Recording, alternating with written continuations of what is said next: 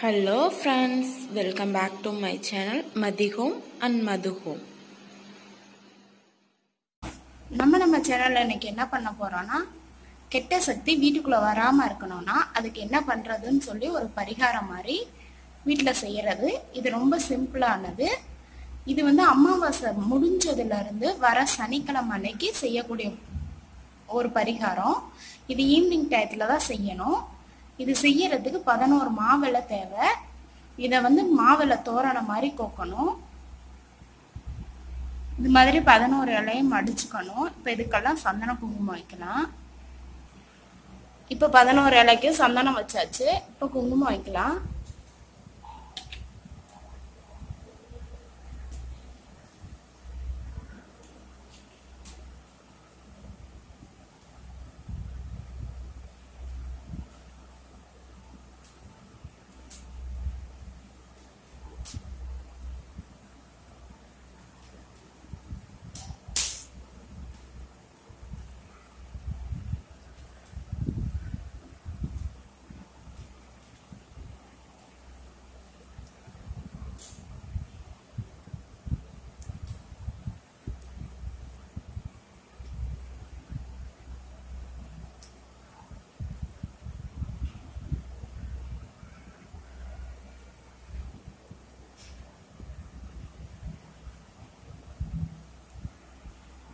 இப்போ பதினோரு இலைக்கு சந்தன குங்குமம் வச்சாச்சு. இது கொஞ்சம் நேரம் காயட்டும்.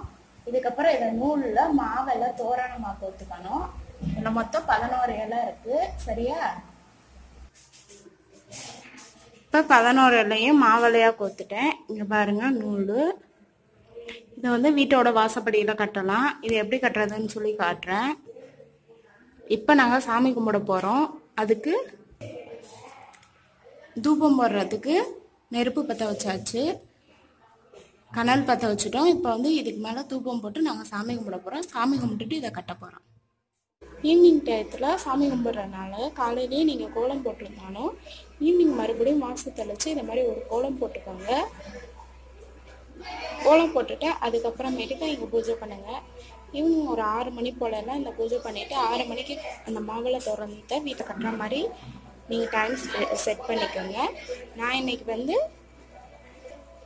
வீடியோ எடுக்கிறனால கொஞ்சம் டிலே டைம் ஆயிருச்சு. இல்லைன்னா நான் எப்பயுமே ஆறு மணிக்குள்ளே கட்டிடுவேன்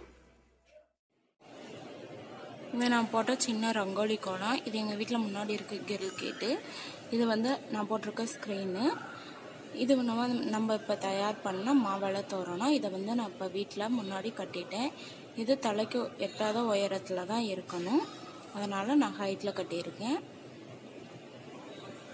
அதுக்கப்புறம் நான் வந்து இப்போ கொஞ்சம் நைட் ஆயிடுச்சு ஏன்னா வீடியோ எடுக்க கொஞ்சம் டிலே ஆனனால நைட் ஆயிடுச்சு மேக்ஸிமம் ஆறு மணிக்கு இந்த பூஜையை பண்ணிடுங்க இருட்டானனால உங்களுக்கு வந்து சரியாக கிளியரன்ஸ் கிடைக்கல. நான் மறுபடியும் என்னோடய ஹோம் டூர் போடும் போது நான் உங்களுக்கு வந்து இந்த மாவளை தோரணம் எவ்வளோ ஹைட்டில் கட்டியிருக்கேன் எப்படி கட்டியிருக்கேன்னு சொல்லி காட்டுறேன்.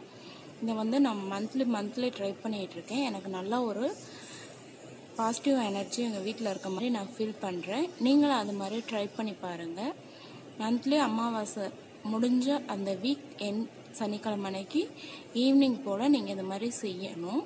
செஞ்சீங்கன்னா உங்கள் வீட்லேயும் பாசிட்டிவ் எனர்ஜி இருக்க மாதிரி நீங்கள் ஃபீல் பண்ணுவீங்க.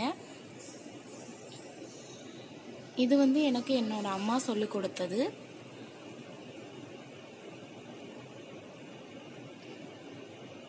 ஒரு ஒரு இலையும் செப்பரேட்டாக பிரித்து விட்டுருக்காங்க.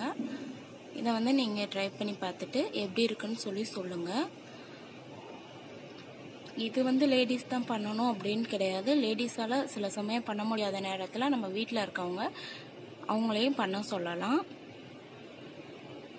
இதை நீங்கள் பண்ணுறனால எந்த ஒரு கெட்ட சக்தியும் வீட்டுக்குள்ளே வராதுன்னு சொல்லி நம்பலாம் நீங்கள் இதை நான் எப்பயுமே ட்ரை பண்ணுறது ட்ரை பண்ணி பார்த்துட்டு எனக்கு பெஸ்ட்டாக இருக்குங்க தான் நான் உங்களுக்கு இந்த பரிகாரத்தை சொல்கிறேன் நீங்களும் வீட்டில் ட்ரை பண்ணி பாருங்கள் பரிகாரத்தை நீங்கள் வீட்டில் ட்ரை பண்ணி பார்த்துட்டு உங்கள் வீட்டில் பாசிட்டிவ் எனர்ஜி இருக்க மாதிரி ஃபீல் பண்ணணும்.